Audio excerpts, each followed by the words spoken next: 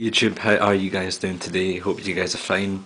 This video is long due. Um, today is the 19th of May, I believe, if I'm not wrong, and uh, bit excited as I've recently got my YouTube application accepted. Thanks very much to all of you guys for making that possible. Um, and I think Carlos, uh, it's me Morpheus, I was watching his uh, videos about the partnership, and he was right about the subscribers. you don't need subscribers for the YouTube partnership.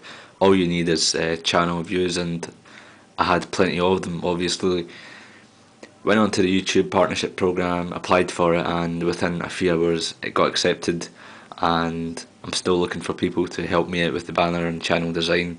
I think I've got one or two people on that, and uh, really appreciative of that. Um, so this is a new internal hard drive which I've purchased four weeks ago I think and I've still not had the time to put it in. So today I am going to do exactly that.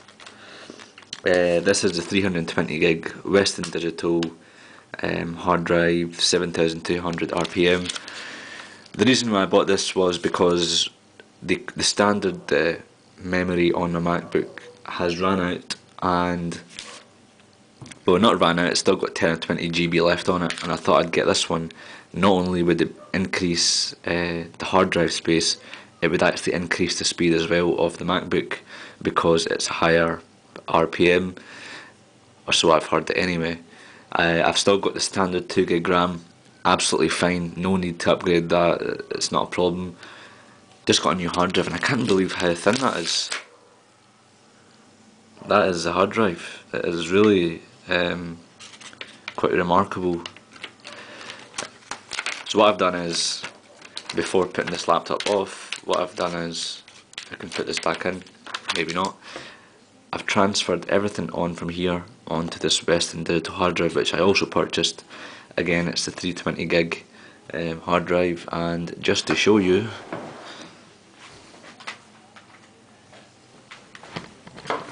This is the Western Digital hard drive and this is my iPhone here. iPhone is definitely smaller but this is not big at all which is great because you can carry it about with you.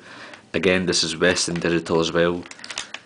Both of these are Western Digital. Difference is this is external and this is internal. So what I'm going to do is uh, basically I'm going to take out the standard hard drive from here and basically show you guys how easy the procedure is, or so I think. No doubt it's going to go belly up. So put the MacBook over,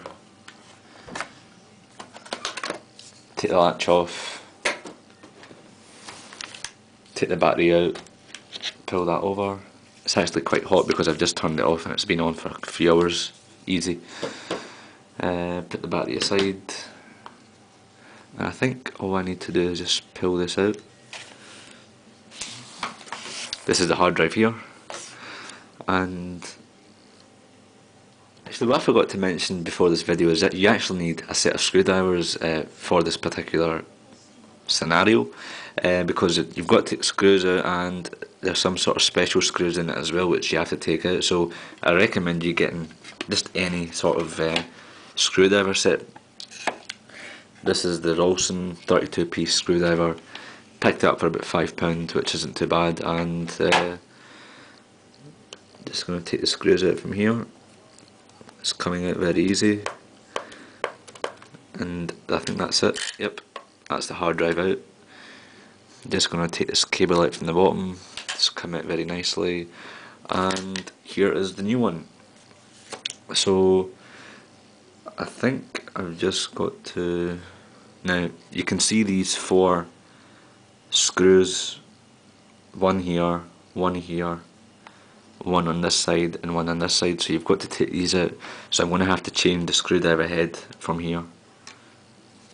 So I've managed to find the correct head for this particular screw. It's actually quite different if you can see that in the video. It's not it's not your usual straight or your star one, it's actually quite different and I'm just going to unscrew these screws from the side. There's four of them so I'm sure it won't take long. That's one out.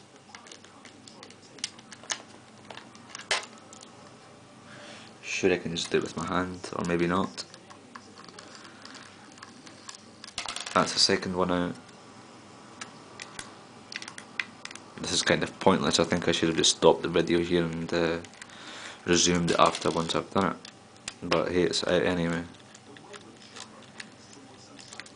And that is all, the four screws are out and the next thing you want to do is take this slap out, uh, slap, this flap out and just going to put the hard drive upside down on the table and stick this flap on this side of the new hard drive because you'll need it next time you take the hard drive out. You'll need uh, to flip it over. And next thing I'm going to do is put these screws back in to the new hard drive. Might just stop the video here actually. Hard drive is all nicely put in everything's screwed up and the last procedure of this is just to put the battery back in let me put the camera down for you guys so you can see properly if I can put the battery in properly. Yep, that's that.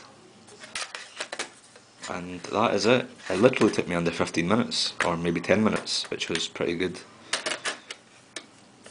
I don't know about you guys, but I hate changing hard drives uh, on computers because it takes up so much time reinstalling everything and you know all your settings go away so I've never actually reinstalled or installed an operating system on my MacBook so this will be um, an interesting um, scenario for myself. I've got all the discs ready for my operating system. I've actually still got the cloth of my MacBook still sealed. Um, these are the discs that I got with the MacBook, so I'm going to have to reinstall everything. And um, that's pretty much it. It's a 15 minute video or a 15 minute scenario for replacing your hard drive, whether it be your Mac MacBook, MacBook Pro, iMac, I'm sure it's all the same thing. Um, but yeah, that was my views or my tutorial on how to changing a hard drive. Guys, that's everything installed on the MacBook. Got a right mess on the table, got the screwdrivers here, got the old hard drive here, got the MacBook here, got some random books here, the discs for Mac OS X Leopard are here, my iPhone's here, my time machine backup is here on this external hard drive. Um, the cleaning cloth for some reason is out for no apparent reason, um, still sealed.